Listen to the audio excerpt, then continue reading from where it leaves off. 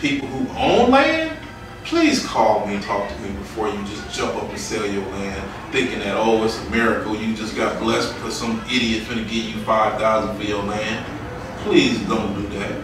I don't care what it is. Yesterday it was worth 500. Today he to give you 5000 Don't sell it without talking to me or somebody who really is aware of what's going on.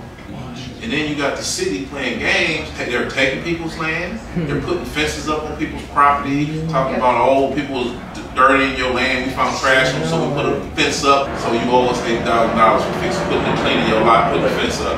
We like, I just seen my lot two weeks ago. They like, well, all right. We sent you a letter.